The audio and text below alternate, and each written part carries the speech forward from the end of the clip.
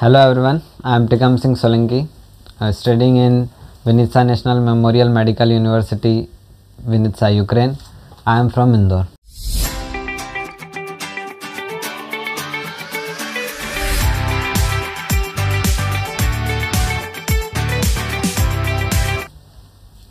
M B B S abroad ये जो option है, ये मैंने सोचा भी नहीं था पहले तो। ठीक है, क्योंकि हमारा सबका यही ड्रीम होता है कि इंडिया में हमको कोई इंडिया की मेडिकल कॉलेज मिले, वहीं से हम करें और ये हम चाहते हैं और ये मैंने भी सोचा था। लेकिन फिर आप करते हैं, नीट देते हैं, उसके बाद ड्रॉप लेते हैं और फिर आपको M B B S abroad option अगर आता है तो आप उसको चूज़ करते हैं, कोई दिक्कत नहीं है उससे। मेरा, मैं बात करूँ तो मेरे 400 हंड्रेड अबो मार्क्स हैं। मैं ये इसलिए बता रहा हूँ क्योंकि हमारा जो एक माइंड फ्रेम बना हुआ होता है कि डेढ़ सौ से दो सौ या ढाई सौ, तीन सौ तक के जो मार्क्स वाले बच्चे होते हैं, वो दरअसल M B B S abroad prefer करते हैं। तो ऐसा नहीं है मतलब चूँकि नीट का जो अभी का कंपटीशन है टफ़ कंपटीशन की वजह से, जो कि बहुत अच्छी बात है, उसकी वजह से जो हायर मार्क्स वाले स्टूडेंट्स हैं, वो भी अब M B B S abroad click कर रहे हैं और उसमें कोई दिक्कत वाली बात नहीं मैं, मेरा बताऊँ तो मैं एम बी बी एस जो एब्रॉड का मैंने जब चूज़ किया था तो मैं डॉक्टर जसन से मिला था through one of my friends referral उनके, उन्होंने बोला था तो मैं उनसे फिर मिला था। उनसे जब मिला तो उन्होंने मुझसे, मैं, जो हमारे नॉर्मल क्वेश्चंस होते हैं कॉमन क्वेश्चंस की हॉस्टल का क्या होगा हॉस्टल रूम्स कैसे हैं, वहाँ का क्लाइमेट कैसा है यूक्रेनियन लैंग्वेज जो है वहाँ की, जो कॉमन लैंग्वेज वो यूज़ करते हैं, उससे हमको कोई दिक्कत तो नहीं होगी।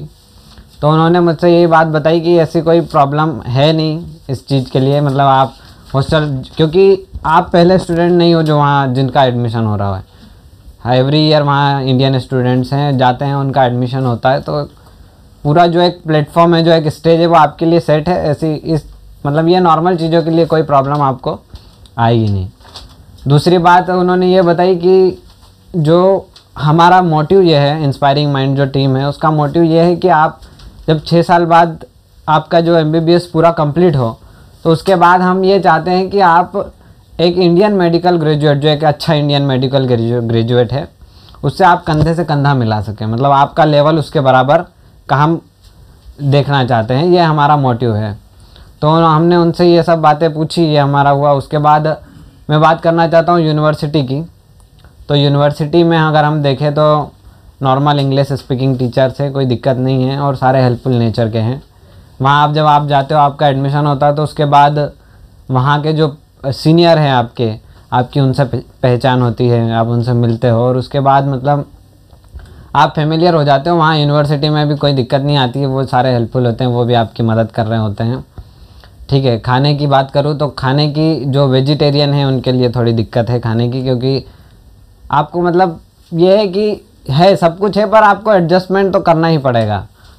आपको एडजस्टमेंट थोड़े करने पड़ते हैं और उसके बाद हो जाता है। आप मैं ये चाहता हूँ कि आप खाना बनाना सीख कर आएँ तो वो आपके लिए हेल्पफुल रहेगा, क्योंकि आप यहाँ खाना बनाते हैं तो वो आपको कॉस्ट इफ़ेक्टिव भी है और मतलब टेस्ट के लिए भी आप अपने हिसाब से जो आप प्रेफर करें, वो आप बना सकते हैं।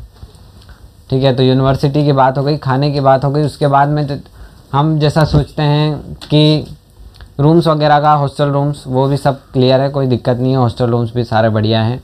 आप वहाँ भी सेटिस्फाई हैं, कोई दिक्कत नहीं है मतलब एज इट इज़ इसके अलावा, आप हाँ आप आप जो है, ये सारी बातें हो गई, उसके बाद एक सबसे सबसे बड़ा इश्यू आता है कि एमसीआई का क्या होगा। तो एमसीआई के लिए मतलब अगर आपके अच्छे मतलब देखिए, एक बात होती है कि एक होता है टैलेंट ठीक है, और दूसरा होता है हार्डवर्क अगर आपके मार्क्स अच्छे हैं तो मतलब आपको कोई एज इट इज़ कोई प्रॉब्लम नहीं आएगी। लेकिन अगर आपके मार्क्स कम भी हैं तो हार्डवर्क है आपके पास। आप हार्डवर्क करें और बेस्ट है आपके लिए आप अगर आप हार्डवर्क करते हैं तो। उसके बाद जो इंस्पायरिंग माइंड्स हैं, उन्होंने बहुत ही इनोवेटिव तरीके से आपको हेल्प कर रहे होते हैं। इनके पास इन्होंने जैसे हमें इंस्टाग्राम की मदद से, ठीक है एंड्रॉयड एप्लीकेशंस की मदद से पूरा जोड़ रखा है। सला व्हाट्सएप ग्रुप है जो। उसके मतलब एक उन्होंने ग्रुप बना रखा है तो उसके हिसाब से आप जो हैं कि जो आपके सीनियर्स हैं, वो आपके साथ प्रीवियस ईयर के क्वेश्चंस और जो भी डाउट है नॉर्मल वो डिस्कस करते हैं आपसे तो वो हेल्पफुल है आपके लिए। और यहाँ पर हम फ़र्स्ट ईयर से ही एम की कोचिंग कर रहे हैं तो कोचिंग मतलब आपकी प्रिपरेशन पूरी जो है छः साल की शुरुआत से ही हो रही होती है और आप एक अच्छी न्यू आपके लिए तैयार हो रही होती है तो इसमें एम के लिए भी आपके कोई ऐसी डरने की ज़रूरत नहीं है नॉर्मल है। और मैं ये बताना चाहता हूँ कि इंस्पायरिंग माइंड जो है वो एक मतलब कंसल्टेंसी नहीं है। आप जैसा आप देखते हैं कि ये कंसल्टेंसी नहीं है दे आर और आ, मैं बोलना चाहता हूँ कि they are our study partners ठीक है? और अगर मैं यहाँ आप बात करते हैं कि जो हम वहाँ हॉस्टल में रह रहे हैं, वहाँ अगर कोई दिक्कत आती होगी तो उसके लिए हमारे साथ हैं डॉक्टर आयुष हैं। वो हमारे साथ में रहते हैं और यहाँ अगर आपको कोई भी प्रॉब्लम आती है तो वो आपका हाथ पकड़ने के लिए आपके साथ हमेशा है, कोई दिक्कत वाली बात नहीं है। और ऑल इन ऑल मैं ये बताना कहना चाहूँगा कि इंस्पायरिंग माइंड जो है I am very thankful for them और they are our study partner they are not actually a consultancy thank you stop.